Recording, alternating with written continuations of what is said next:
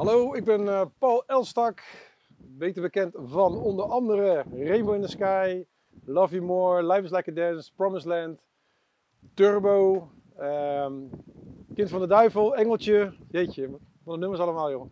En onder de hardcore liefhebbers bekend ook van Ode to the Godfather, DJ Paul Make It Fucking Louder. Nou, dit is mijn crossverhoor.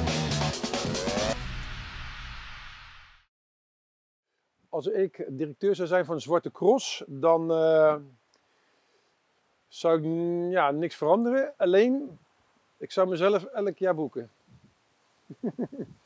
Superleuk om daar te draaien, dus uh, dan ben ik elk jaar. Dus dat zou mooi zijn.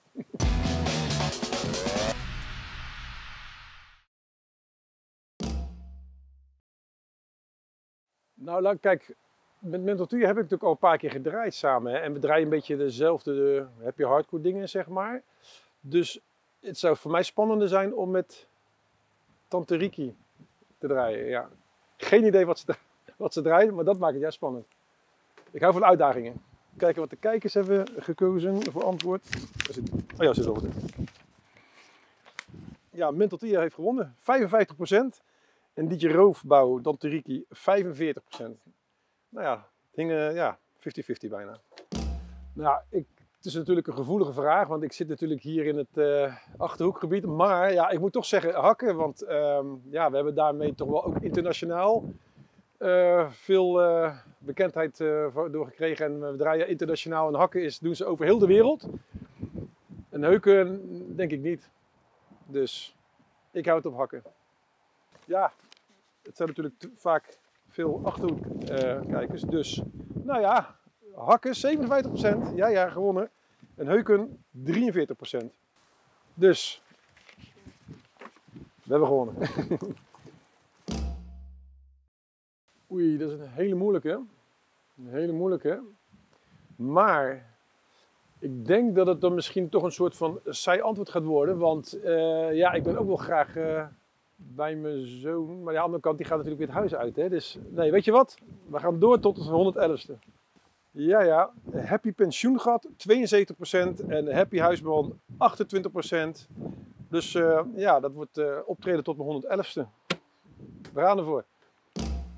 Dan, uh, ja, weet je, dat komt eigenlijk een beetje de hele, deze situatie waar we nu in zitten, komt dan erbij kijken. Dus ik weet niet hoe in de toekomst überhaupt feesten gegeven gaan worden en onder welke maatregelen. Dus ik zou zeggen, ik herbeleef gewoon 88, want dat was gewoon sowieso goed. Mijn eerste plaatje die ik maakte was in 89 met Weilen Peter Slaghuis. Dat was een hip house plaat. Dat was wel house al, maar dat was hip. Het was rap en house door elkaar. En uh, ja, ook in Engeland zelfs uitgebracht. In de top 100 gestaan, maar dan helemaal onderaan. Dus 89 was wel mijn eerste plaatje die ik uitbracht. En in 1990 onder Holy Noise met een paar jongens samen plaat uitgebracht. En zelfs in de top 40 gestaan met James Brown is Still Alive. En dat was in 1990 volgens mij al, of 91. Dus toen was ik er al bij. Toen bestormde ik de hitlijst al. nou, uh, de tweede Summer of Love herbeleven heeft verloren 36%. Derde Summer of Love organiseren 64%. Nou, dan maar uh, organiseren. Nou ja, ik, uh, ik was al bezig met feesten organiseren. Uh, mijn eigen feestje, het I Love Beats concept. Um, maar ja, dat is natuurlijk nou even gestopt, hè, voorlopig. Dus um, ik zou het wel weer oppakken als het kan. Ja, zeker wel.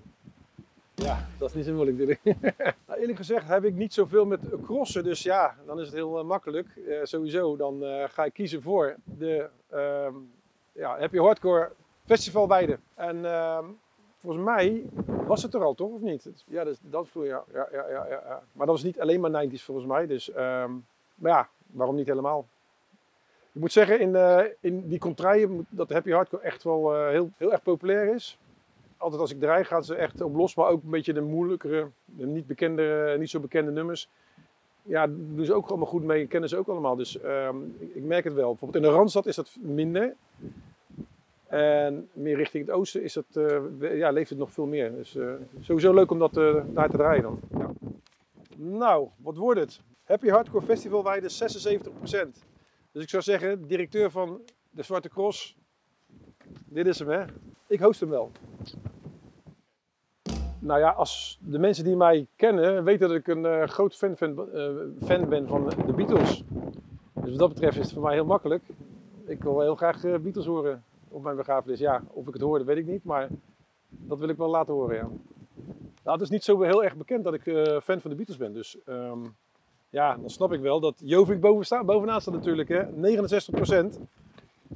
Ja, Achterhoek, grote, grootste held hè, van de Achterhoek, denk ik, toch? Nou, dan, dat weet ik wel nu. Uh, ik moet zeggen, ja, nee. Het sfeer van Zwarte Cross kan alleen daar. Rotterdam is een hele andere stad, dus dat zou dat niet werken. Uh, dus ik ga voor, uh, ja, voor het ja, Zwarte Cross Anthem 2022. Ja, dat zou ik dan zeker wel doen, ja. Is het al bevestigd al? Of krijg ik een mailtje of zo? ik denk dat ze wel willen dat ik een Zwarte Cross enter maak. Ja, overtuigend, 89%. Zwarte Cross Lied 2022. Ja, dan moeten we maar doen dan. Um, nee, ik denk dat ik daar niet de vaardigheden voor heb. Want het gaat wel heel goed en het is echt heel, ik heb wel in kleine schaal doe ik wel eens een feestje, maar de Zwarte Cross is gewoon het hele jaar fulltime bezig zijn met dat feest. Ja, en daar heb ik niet de tijd voor. Ik ben ook met muziek bezig en allerlei andere dingen, gezin, dit en dat. Dus nee, dat uh, laat ik over aan de professionals. Nou, dit was uh, Paul Elstak uh, met het crossverhoor abonneer je op Zwarte Cross YouTube kanaal. En daar vind je ja, dit, maar ook andere filmpjes. Um, dus ik zou zeggen, abonneer je en uh, ja, veel plezier.